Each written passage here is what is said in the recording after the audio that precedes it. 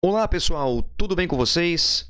Nesse vídeo vamos falar da identificação da zona-alvo de treinamento. Como que nós fazemos isso e quais são as principais informações que o profissional deve ter em mãos para poder prescrever o exercício com base na frequência cardíaca. Lembrando, pessoal, que esse cálculo, a zona-alvo de treinamento, ela está relacionada com uma predição, é uma estimativa para melhor prescrever o exercício. Pois bem, quais são as informações importantes então que você deve saber em relação a como prescrever zona-alvo de treinamento? Bom, pessoal, é importante que vocês saibam a frequência cardíaca máxima de uma pessoa e a frequência cardíaca de repouso. Estes dois valores são os valores iniciais para que a gente possa fazer os devidos cálculos. Então vamos lá. A frequência cardíaca máxima nós encontramos por meio de uma fórmula de predição que nós já vimos em vídeos anteriores aqui no canal. Se você não viu ainda, assiste esse vídeo para saber as principais fórmulas de acordo com cada indivíduo. A frequência cardíaca de repouso, a literatura sugere que você tenha em mãos a média dos últimos três dias ao acordar. Caso você não tenha esse valor em mãos, você utiliza um valor estimado também, que geralmente é entre 60 e 70 batimentos, que é o batimento médio de um adulto saudável. Muito bem, tendo esses dois valores, nós encontramos o que nós chamamos de frequência cardíaca de reserva. O que, que significa frequência cardíaca de reserva? Significa o máximo de batimentos cardíacos de uma pessoa menos o seu repouso.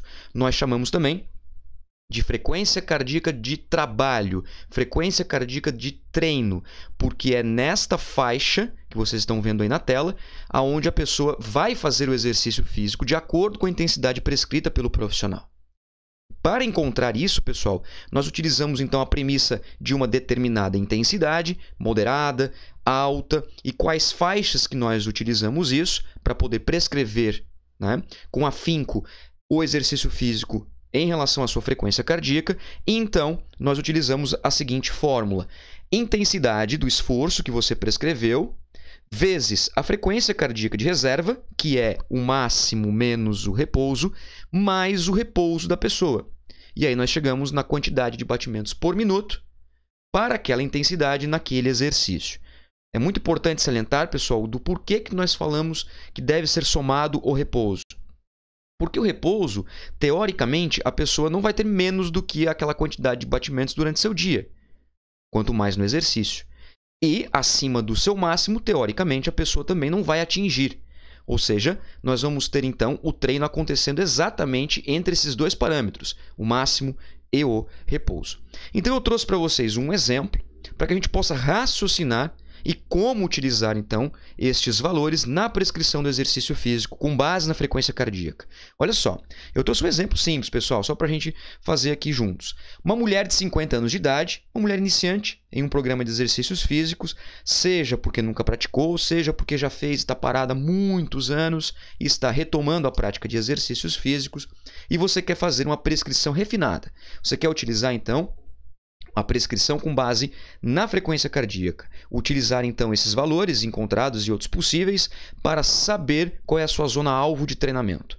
Então, primeiro, nós sabemos que a, as intensidades elas não são iguais, pessoal. Nós temos intensidade baixa, moderada, alta e muito alta. E nós utilizamos vários parâmetros, diversos parâmetros, para saber qual nós vamos utilizar no treino. Aqui, nesse caso, é a frequência cardíaca de reserva. Então, vamos supor que a prescrição esteja entre 80 a 90% da frequência cardíaca de reserva, como mostra aqui para vocês na tela. Muito bem, eu vou utilizar então esses valores, que são de alta intensidade, para prescrever o treino desta mulher de 50 anos. Bom, vamos utilizar uma fórmula e relembrar do nosso vídeo lá onde eu mostro para vocês diversas fórmulas de prescrição, de estimativa da frequência cardíaca máxima, em que existe uma fórmula para mulheres Geralmente essas mulheres são ali acima de 35 anos, que é este caso, então eu consigo ter uma fórmula mais específica, em que a fórmula é 206 menos 88% da idade, ou seja, 0,88 vezes a idade. Que neste caso aqui eu já substituí para vocês, vai dar 50 anos, né? 50 anos é a idade da pessoa, e fazendo o cálculo, resolvendo esta matemática, nós chegamos então a 162 batimentos. Ou seja, pessoal, teoricamente, por estimativa e por esta fórmula, 162 batimentos é o seu máximo.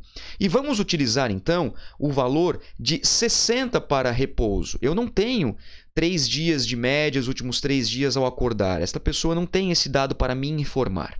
Então eu vou utilizar a literatura, que me dá suporte para utilizar então entre 60 e 70. Eu optei por 60.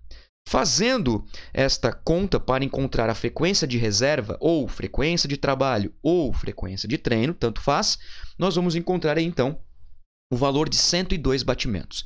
Significa o que isso, pessoal? Significa que esta mulher de 50 anos tem 102 batimentos para treinar, que é o seu máximo estimado, menos o seu repouso, que também é estimado. Muito bem. Agora, Fazendo isso naquela fórmula que eu passei na tela anterior para vocês, a intensidade vezes a frequência de reserva mais a de repouso, nós temos a quantidade de batimentos para esta intensidade.